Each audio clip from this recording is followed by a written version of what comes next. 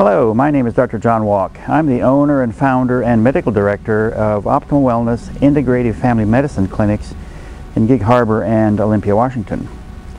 In our program, we help you define and achieve your goals for optimal health. And we do this with our Walk to Wellness program. Now, today we're going to talk about exercise.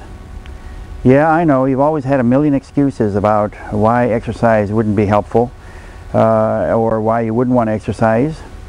Uh, but I got to tell you that uh, exercise is one of the most important components of our walk to wellness. And uh, what I want to do is uh, give you a little bit of physiology. See, depending on what rate you exercise will determine how fast your heart is going to need to beat and how hard your muscles are going to have to work uh, to do that exercise that you've got in your mind. Now, if you're trying to get from point A to point B just as fast as you can, your heart is going to have to beat pretty fast. Your muscles are going to have to work pretty hard to achieve that. To achieve that, they're going to have to burn high-octane fuel that we know as blood sugar.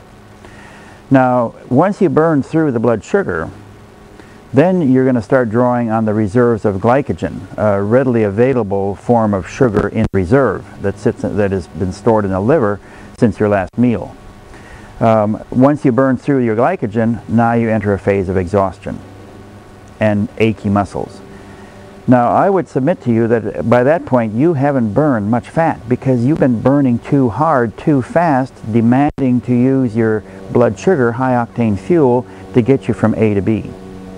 Now, on the other hand, if you're wanting to burn fat, you'll want to go much slower.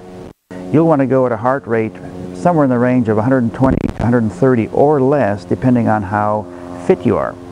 Now, um, a very good uh, indication of when you're transitioning out of that fat burning zone into the fuel or into the sugar burning zone is the rate at which you're breathing. So when you're barely able to carry on a conversation, that's probably the maximal fat burning heart rate.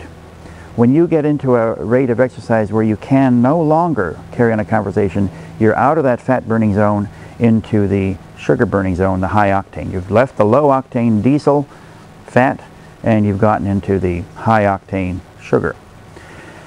So uh, your body will very happily uh, burn uh, that low octane, saving the high octane in case the tiger jumps out of the bushes and you got to get the heck out of Dodge.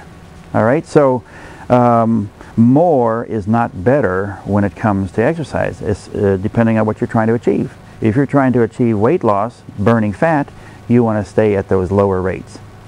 And um, I'll challenge you. I'll challenge you to try this for two weeks and monitor what happens. Now, you don't get on the scale uh, because getting on the scale does not differentiate body fat from body lean from body water. It's just a very gross uh, poundage. Uh, what are you going to measure? You're going to measure your girth because the only measurement that reliably gets smaller, predictably gets smaller as you get healthier is your waist size, your girth. So if your slacks, your skirts, your pants are fitting looser by the end of the two weeks, regardless of what your weight's done, you're getting healthier because uh, in a minute you're going to see uh, that we're going to add in some weights here and as you gain muscle uh, muscle is denser it's heavier you may actually gain muscle faster than you're losing